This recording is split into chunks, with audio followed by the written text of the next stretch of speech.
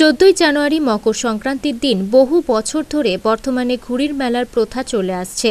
বিশ্বকর্মা পুজোর দিন যেমন কলকাতায় ঘুড়ির মেলা অনুষ্ঠিত হয়, তেমনি চোদ্দ, পনেরো, ষোলোই জানুয়ারি তিন দিন বর্তমানের তিন দিকে ঘুড়ির মেলা অনুষ্ঠিত হয়।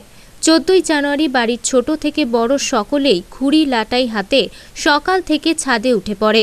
বিগত কয়েক বছর ধরে ঘুড়ির সুতোর দাম বাড়ার কারণে কিছুটা হলেও ভাটা পড়েছিল এই মেলার আড়ম্বরে।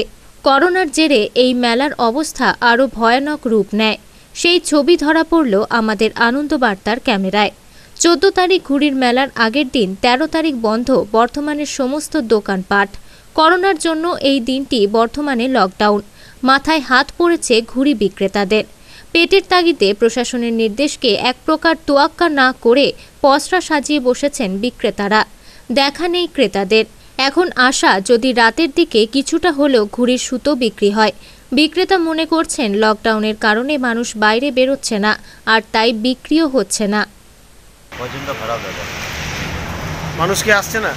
একদম আসছে না দেখছেন তো আপনি একাই আছেন। এবং কালকে ঘুড়ি মেলা আজকে বন্ধ এটা কি ক্ষতি করেছে বিরাট? এটা তো ক্ষতি এক হিসাবে আমাদেরকে খোলা উচিত না।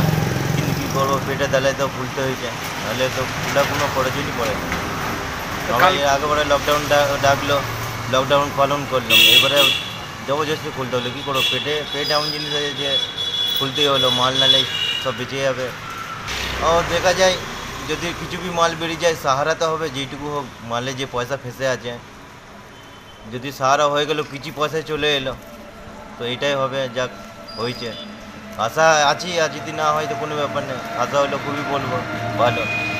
আজকে হওয়া দরকার তো কেন আজকে লাস্ট দিন আছে। কালকে তো ঘুড়ি মেলা আছে শেষ। আর কালকে আমরা ভরসা থাকি না আজকেই। আর আজকের দিনেই লকডাউন পাঁচ টাকা দশ টাকা পনেরো টাকা দাম আছে দু টাকা আছে। কাগজের ঘুড়ি? পাঁচ টাকা ছ টাকা।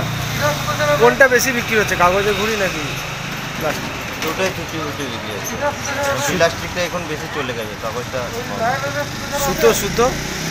সুতো বি চলছে। কত টাকা করে হাজার এখন? একশো টাকা দেড়শো টাকা ষাট টাকা পঞ্চাশ টাকা। বর্ধমান থেকে রাজীব মণ্ডলের রিপোর্ট আনন্দবার্তা